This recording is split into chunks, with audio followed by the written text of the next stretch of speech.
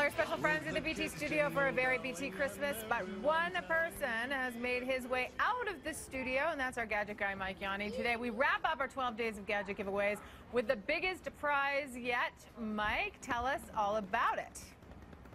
Well, where do I begin? It's huge. $4,500 home theater, ultimate home theater setup from Future Shop this morning. So let's let's talk about what you win this morning. You get the Logitech Harmony